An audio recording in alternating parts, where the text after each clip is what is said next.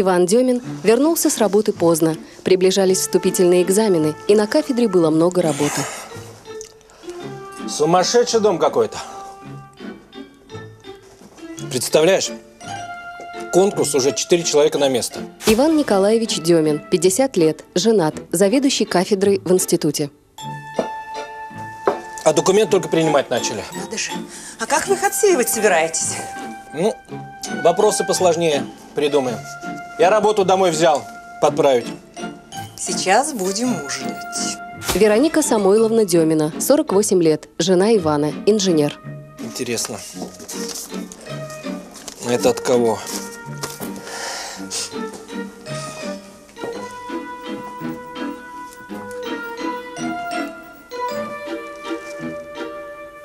Вань, ты что?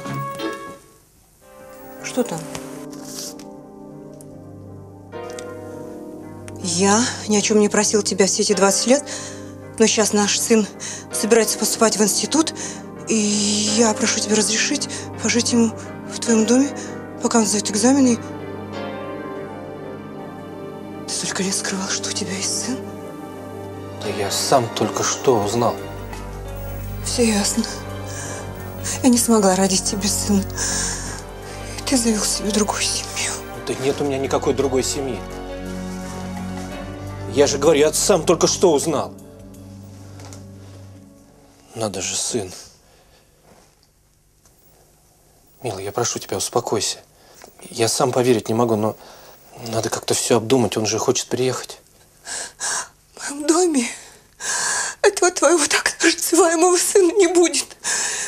Ты еще мать его сюда привлеки. Вероника, Иван не мог понять, как ему отнестись к появлению взрослого сына. Он всегда мечтал о ребенке, но сейчас жена очень обиделась на него и была права. это было 20 лет назад. Я приехал в другой город, познакомился с женщиной. Мы вместе были один день и больше не встречались. И тут сын. Хорошо. Но, похоже, вы не очень рады этому событию.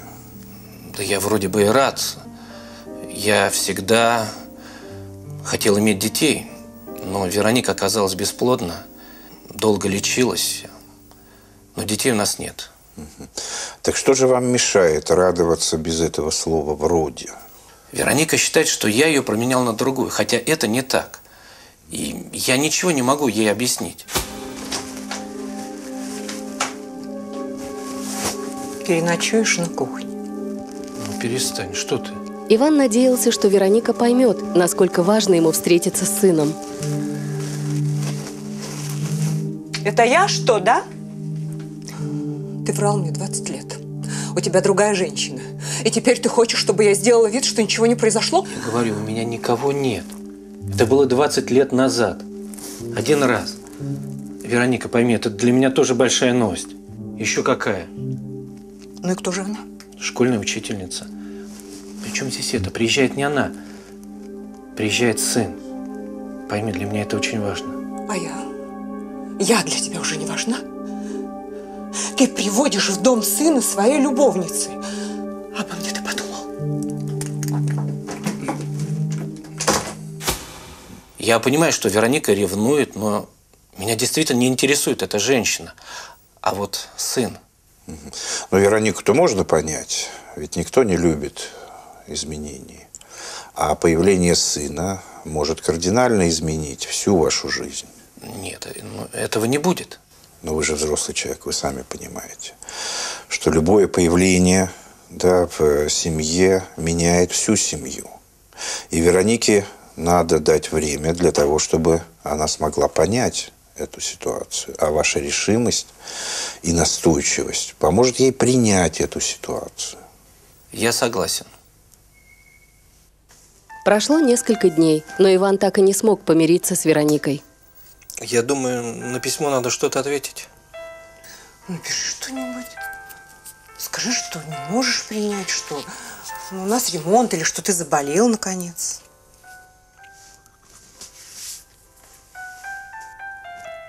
Может быть, пусть приедет, а? Ну, хоть на пару дней. Мне бы только посмотреть на него.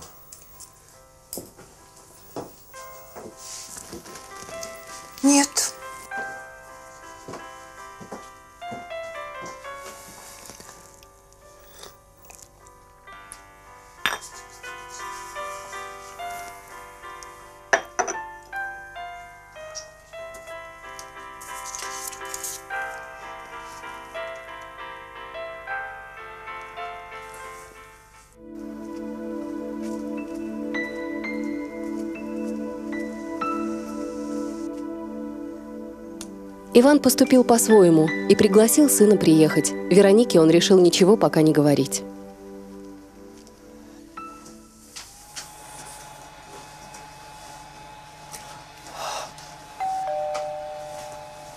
Я открою. Опять твой студент. Входной же.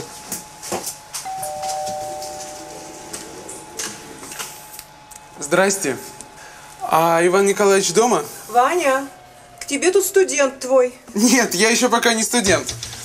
Я его сын. Я вот как письмо получил, сразу приехал. Михаил Маслов, 20 лет, сын Ивана, абитуриент.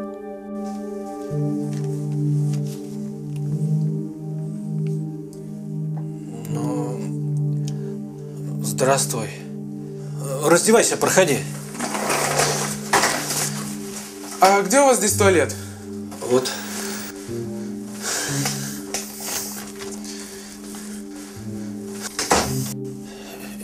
Вероника, прости. Как ты мог? За моей спиной. Я же тебе сказала, что я его в дом не пущу. Ну, Вероника, я прошу тебя, успокойся. Ну, человек в гости приехал. Надо хотя бы его чаем напоить. Значит так, я сейчас ухожу, а когда вернусь, чтобы этого здесь не было.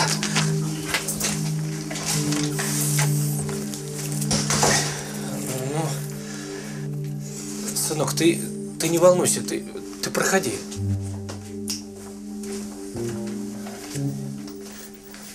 Извините, неудобно как-то. Но я письмо получил и Ты сразу... не волнуйся. Вероника очень хорошая. Она успокоится, и вы с ней нормально познакомитесь. Лучше давай, рассказывай. На. А что рассказывать-то? Ну как чего? Куда собираешься поступать? И вообще, как жизнь? Иван Николаевич. Папа. А, ну да, папа. Давайте завтра поговорим об институте. А то я сегодня с дороги и как-то устал. Да-да, конечно, отдыхай. А я тебе на диване в гостиной постелю. А может быть, мне все-таки лучше уйти? Даже не думай об этом. Ты здесь никому не помешаешь. Как мама, как Лариса. М, мама? Нормально все. Живем, работает. Ну да, да. Надо же, какой у меня сын. Кушай, кушай.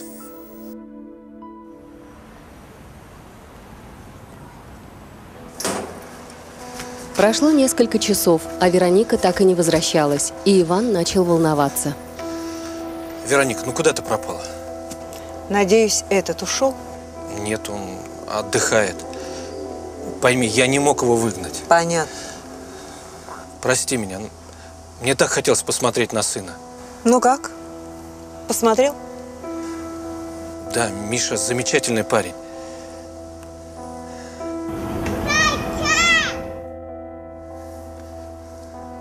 Вероника, ну ты же всегда меня понимала. Сын – это такой подарок. Ладно. Пусть остается. Только на несколько дней. Потом в общежитие пусть перебирается. Конечно. Спасибо. Пойдем? Пойдем.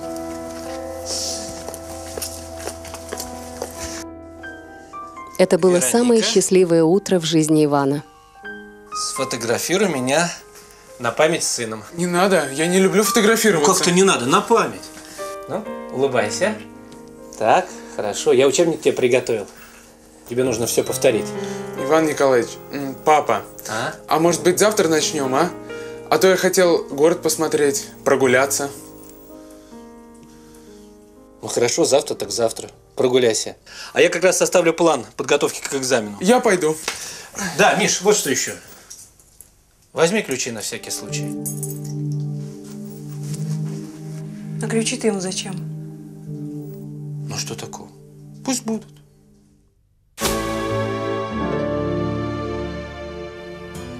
Получив письмо от своей давней любовницы, Иван Демин узнал, что у него есть взрослый сын Михаил.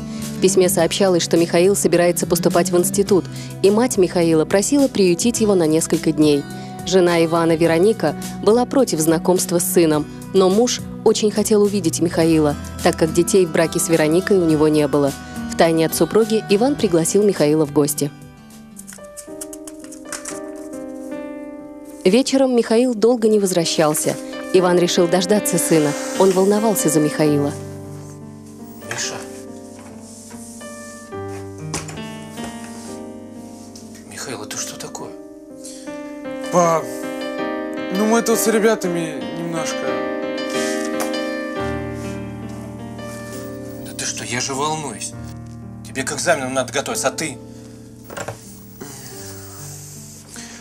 Пап!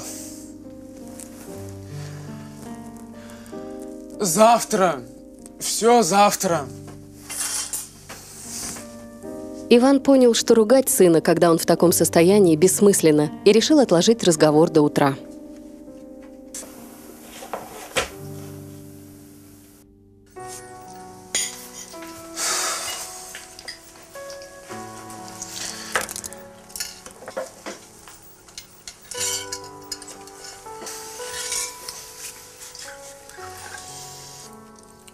Я все понимаю.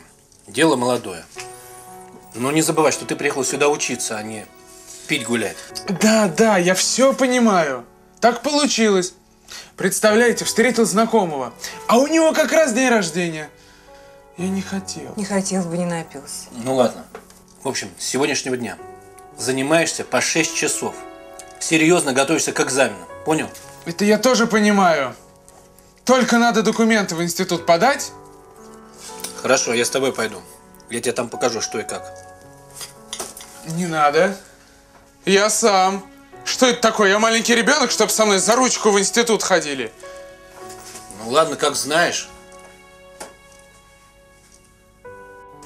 Иван волновался, потому что Михаил снова задерживался. По-моему, 12 часов ночи документы в институт уже не принимают. Я не знаю, что и думать. Иван все еще надеялся Может, на спокойный случилось семейный вечер с женой и сыном. Это кто? Это моя знакомая, Маринка. Мы с ней около института познакомились. Она сегодня ночует тут. Здрасте. Марина Зуйкова, 20 лет, не замужем, случайная знакомая Михаила. Пройти можно? Здесь что, ночлежка? Иван, немедленно выгони отсюда своего сынка и эту девицу. Под- Подожди, Вероника, нужно разобраться. Что тут разбираться? Ладно, живите, как знаете. Марина, вас, кажется, так зовут. Вы понимаете, что ваше присутствие здесь неуместно. Я могу уйти? Марин, подожди. А ты иди в комнату и ложись спать. Или убирайся. Только можешь больше сюда не возвращаться.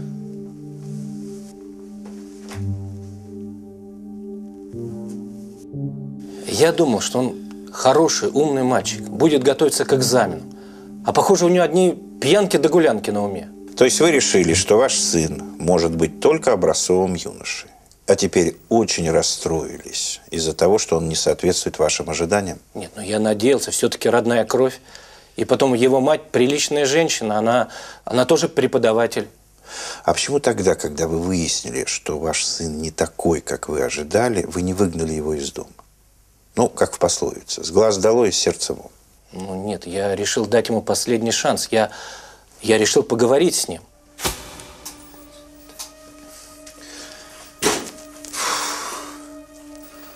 Кружку возьми. Ну и где ты вчера был? Документы подал в институт? Не, а, не успел. Значит так, мне с тобой все ясно. Быстро собираешь свои вещи и вон из моей квартиры. Понял? Ах, вот как вы теперь, папенька, заговорили. А вот возьму и не уеду никуда. Это ведь и мой дом тоже. Ты, ты наглец. Вы, папаша, сами виноваты, что я у вас такой вырос. А что? Бросили мать там одну. За 20 лет ни разу не позвонили, не написали. Как ты смеешь так говорить? Я, между прочим, правду говорю. Вы же не знаете, как мы там жили. Мать каждую копейку считала, пока вы тут в профессорских квартирках прохлаждались. Ну выгоните вы меня, уеду. А дальше что? Сопьюсь, как все там. Ладно, подожди. И вот видите, какой у меня сын. А почему вы думаете, что Михаил приехал к вам поступать в институт? А может, он приехал просто погулять? Погулять за счет отца профессора. Нет, он искренне говорил, он хотел поступить в институт. Но, может быть, действительно, я виноват, что он таким вырос. Но я не знал, что Лариса тогда забеременела. Я бы помогал, и все было бы иначе. Ну, история сослагательного наклонения не имеет. Все случилось так, как случилось. И вам сейчас нужно думать, что делать с Михаилом. Я думаю, что нужно помочь ему поступить в институт. Хоть это-то я могу. А потом пусть живет сам, как знает. Я, я боюсь только потерять Веронику. А может быть, все честно рассказать Веронике, что сын оказался не тот, кого вы ожидали, и что вы помогать ему будете из-за чувства вины. И пусть она все сама решает. А потом, все-таки вот интересно, что у вас за отношения с Вероникой? Что какой-то великовозрастный обултус смог так легко их разрушить? Не знаю. Я не знаю. Иван не мог избавиться от чувства вины перед сыном, и Вероника ушла от Ивана. Что, уже все выучил? Там все так сложно. Пап, а давай я не буду всего учить, а? Как так? Ну, давай ты мне дашь один билет, я его выучу. Ты мне его пометишь, а на экзамене я как будто бы случайно его достану, а задачу к нему мы решим заранее. Ты что придумал, а? Как тебе вообще могло такое в голову прийти? Ну вот же они. Ну возьми, ну выбери какой полегче, уж один-то я решу. И думать забудь. Что непонятно, спрашивай. А на преступление даже ради родного сына я не пойду. Я не успею. Все, разговор окончен. Сам поступишь. У нас дураков в роду не было. Да уж, конечно. Сам спишь и видишь, как бы меня запихнуть в институт и выселить в общагу. А теперь даже помочь не хочешь. Ну что ты такое говоришь, сын? Если поступишь, ты можешь здесь жить. А захочешь, я квартиру тебе сниму. У меня деньги есть. Иван очень скучал по жене. Он позвонил Веронике и предложил встретиться. Привет, я... Я соскучился. Да? А я думала, с твоим сыном не соскучишься. Ну что-то он ничего, он занимается и, может быть, даже поступит. У него есть способности. В папку пошел. Ну, я не знаю. Может быть, и в мать, она ведь тоже преподаватель. Да? Ты же говорил, что не помнишь, кто она. Ясно. Вероник, я с ней больше не встречался, не хочу встречаться. Я просто хочу, чтобы Михаил поступил в институт, вот и все. Может быть, вернешься, а? Может быть, и вернусь. Только если твоего сынка больше не будет в моем доме. И ни о нем, ни о его матери я больше никогда не услышу. Ну, может быть, он до поступления поживет, а? Да, мне твой выбор ясен. Я остаюсь жить у мамы, за вещами позже приду. Ивану нужно было сдать на кафедру задачи к экзаменационным билетам, но он не мог их найти. Миша, ты не видел, где билеты? Ты не видел, где билеты? Нет. То есть да. Вот они. Как ты посмел? Ты же украл эти билеты. Да не крал я ничего, а взял посмотреть. Вон. Чтобы я тебя больше здесь не видел. Вон отсюда. Подумай. Иван понял, что жестоко ошибался в сыне.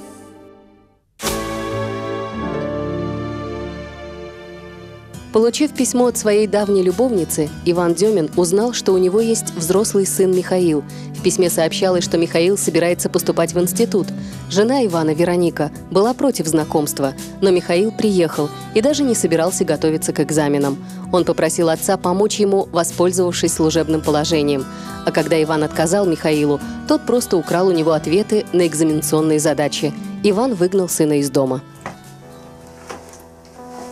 Через день Вероника, как и обещала, пришла за вещами.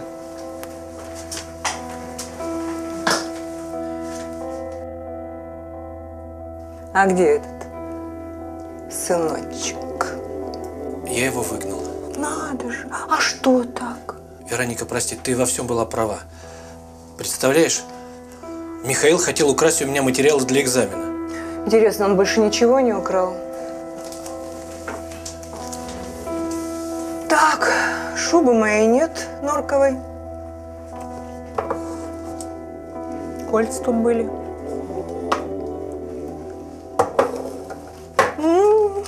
Денег тоже нет. Черт, я... Я же забыл взять у него ключи. Наверное, вчера, когда я был на работе, он вернулся и все самое ценное вынес из дома. Пришла за вещами, а вещей-то и нет.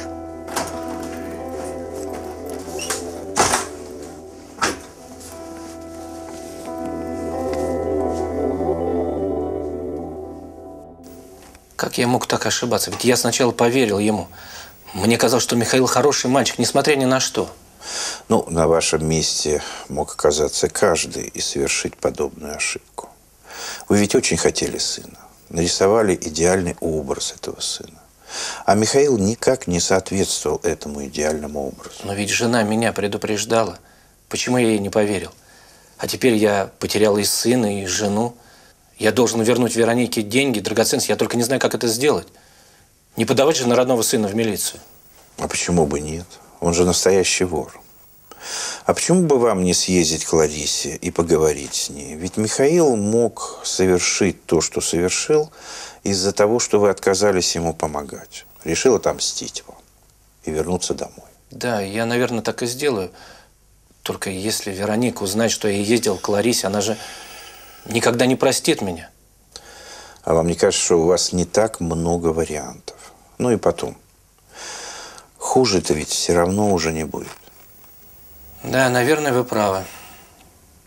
Мне нужно ехать к Ларисе.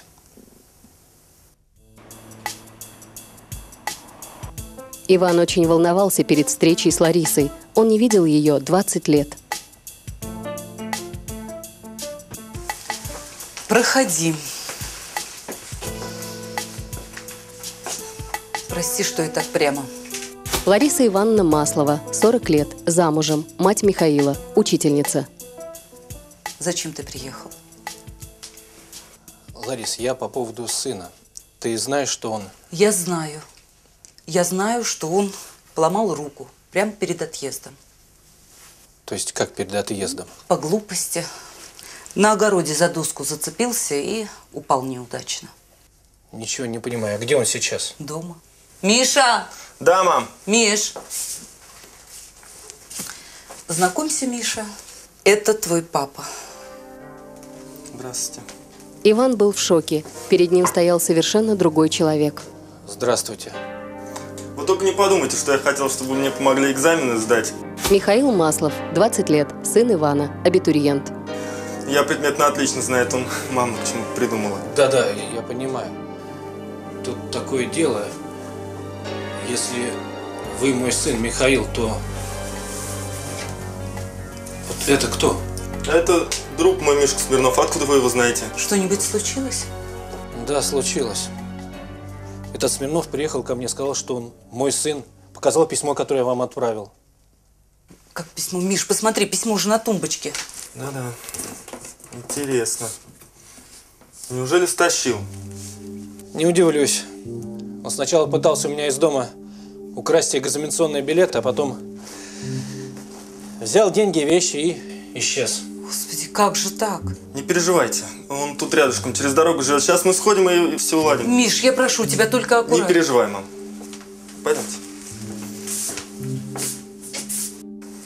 Иван внимательно наблюдал за поведением Михаила, пытаясь понять, какой он, его настоящий сын. А вот и Михаил. Мих, ты чё? Я ничего не знаю. Ну, может быть, ты знаешь, где лежат вещи, которые ты у меня взял, сынок. Я у вас ничего не брал. Михаил Смирнов, 20 лет, не женат, безработный. Отдай лучше по-хорошему, а то мы сейчас тебя такой обыск устроим. И хорошо, хорошо, вы так сразу-то? Михаил вернул Ивану вещи и деньги. Надо было бы на него в милицию заявить. Да нет, ничего я делать не буду. Сам дурак, сам и поплатился.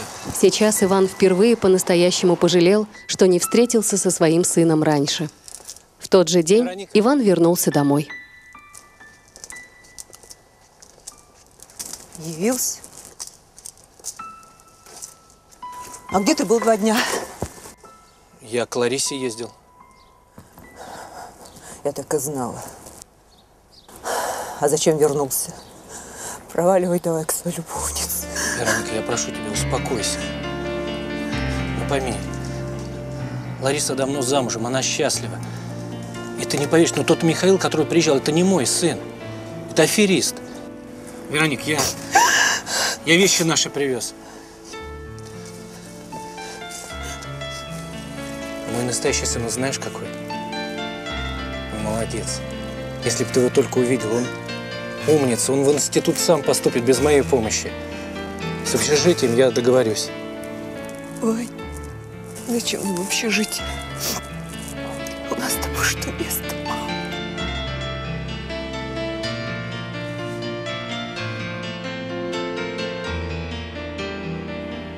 Многие люди любят жить в иллюзорном мире, где все добрые и хорошие. А если кто-либо поступает не так, так это он по недоразумению. Так предпочитал жить и герой нашей истории Иван. Ведь ничего не должно было омрачать его спокойствие. А поскольку в жизни так не бывает, вот и пришлось Ивану закрывать глаза на то, что происходило в его жизни, пока эта самая жизнь крепко его не ударила. Эта история закончилась благополучно. И будем надеяться, что наш герой запомнит этот урок на всю оставшуюся жизнь.